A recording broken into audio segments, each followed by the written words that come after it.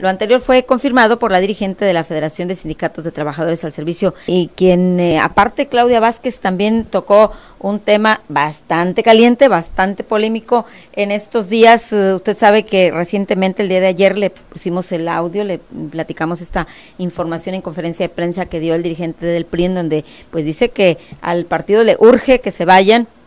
los eh, diputados federales y dice Ramiro Ramos Salinas, yo deseo que a las 7 de la mañana del primero de diciembre, los, delegados federales, que son de extracción panista la mayoría, se vayan, dejen las delegaciones, pero también eh, alzó la voz diciendo que se deben auditar porque hay eh, eh, dependencias cuestionadas en el manejo de los recursos que vienen etiquetados para programas sociales y esto causó polémica y nosotros, bueno, quisimos de alguna manera equilibrar la información. Entrevistamos a Marta Guevara de la Rosa para ver qué es lo que dice el Servicio Civil de Carrera, si estos delegados por ley se tienen que ir o si los ampara este Servicio Civil de Carrera. Servicio Civil de Carrera. Nada, eso es una modificación de una convocatoria que se este, lanzó a nivel nacional en el Congreso para tratar de basificar a gente de confianza de altos niveles. Algunos funcionarios este, se ampararon, pues no formar parte de la gente que se vaya que se vaya a correr. Para no Negaron ninguno.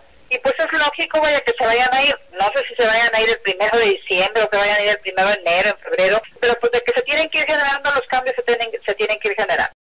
Pues ahí están las declaraciones de Marta Guevara de la Rosa, titular de la FEDSE, la líder de la FEDSE, de los burócratas federales en Tamaulipas y también exsecretaria general del Partido Revolucionario Institucional. Exactamente lo que ella dice es que los funcionarios de confianza eh, eh, se pueden amparar para no ser despedidos con el cambio de gobierno. Sin embargo, aclara y precisa que el Servicio Civil de Carrera no protege a delegados y dice ella así de manera textual, deben irse así lo aclara, así lo pone de, manifiesto Marta Guevara de la Rosa en este polémico tema. Lo cierto es que el tiempo se, se, se termina, la cuenta regresiva ya inició para el gobierno federal en general, para el propio presidente de la República, Felipe Calderón Hinojosa, que pues ya casi termina la gira del adiós, la gira de la despedida en el país y con mayor razón para los diputados, perdón, para los eh, delegados federales que en su mayoría, bueno, pues si, sabemos que el gobierno eh, federal es eh, de extracción panista vigente, pues son obviamente la mayoría también la mayoría de los delegados en el país, no solamente en Tamaulipas, de este mismo partido se identifican con el partido Acción Nacional.